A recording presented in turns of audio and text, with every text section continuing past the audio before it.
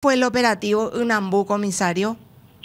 Eh, se llama el audiencia. El operativo Unambú es el resultado de, un trabajo que se estaba haciendo ya hace bastante tiempo, que es el resultado de, o sea, es el seguimiento que se le hizo a un secuestro en, la zona de Alto Verá, distrito de, específicamente en la compañía Perlita, donde eh, fue secuestrado el señor eh, Martín Harman, es un ciudadano que trabaja en la zona, un, colono, fue secuestrado por, por cinco personas aproximadamente. Eh, por suerte, en esa ocasión no se llegó a pagar ni un solo guaraní, ni un solo hora, ni un solo peso. Es un trabajo que se le hizo en una contención importante por parte del personal del DAS. Eso fue en el 2016. Eh, creo que fue muy conocido porque gran parte de la negociación se hizo en una de las penitenciarías eh, fueron capturados tres personas, eh, pasando las 48 horas después del análisis técnico que se hizo, y quedaron prófugos dos. Eh, Joel Acosta Rojas, eh, el que fue capturado el día de hoy.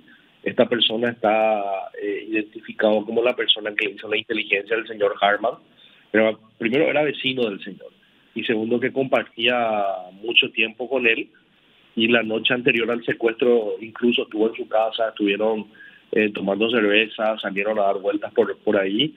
Eh, él prácticamente le tenía eh, en situación a todos los secuestradores, ¿verdad? Y uno que sigue prófugo, esta última persona que es el líder dentro de esta estructura, estuvo condenado en Argentina por narcotráfico. Apenas fueron capturados las tres primeras personas, estas dos personas fueron a Argentina se reguarecieron ahí, estuvieron haciendo una vida, o sea, realmente prosiguieron su vida criminal porque estos esta gente se dedicaba al cultivo, a la producción y al tráfico de, marihuana en esa zona. Cuando hicieron el secuestro y fueron detectados y fueron capturados tres, estas dos personas deciden irse a la Argentina. Eh, siguieron con su actividad criminal eh, con el tráfico de marihuana. Eh, uno de ellos cae y es condenado en el territorio argentino apenas nosotros tuvimos eh, eh, información de eso, necesitamos a Interpol una circular roja. Eh, tengo entendido ahora que esta persona ya pagó toda su, condena, pero no fue extraditado en Paraguay. Estamos viendo la situación legal.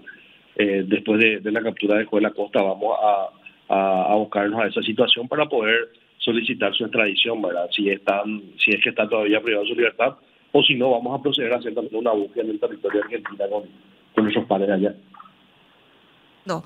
¿Qué, qué, ¿Qué caso arrancó exactamente en qué año, en qué mes este caso, el operativo Nambú? O sea, el caso en sí, ¿en qué año empieza? El noviembre del 2016, señora Mabel, eh, ocurrió el secuestro. Y después, esta gente se, después de, como dije, 48 horas de la liberación del señor Martín Harman, eh, se procedieron a hacer las primeras capturas. Y como le dije, estas dos personas no fueron capturadas porque apenas eh, eh, se frustró el, secuestro porque la intención de esta organización era un express no más de 24 horas, pero como la negociación se le llevó más tiempo, ellos abortaron y, estas dos personas fueron a Argentina y fueron capturadas el resto. Y el, uno de ellos que estaba en la penitenciaría de Misiones.